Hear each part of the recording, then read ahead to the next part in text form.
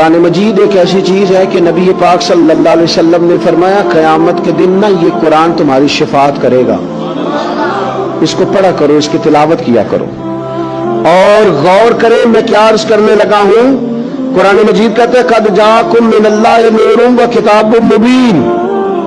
اے لوگوں تمہارے پاس اللہ کی طرف سے نور آیا اور کتاب مبین آئی۔ رسول کے ساتھ جو چیز آئی ہے، وہ قرآن پاک ہے۔ قرآن آیا حضور کے ساتھ۔ کہ پیارے رسول صلی اللہ علیہ وسلم نے فرمایا، اس قرآن کے ذریعے اللہ قوموں کو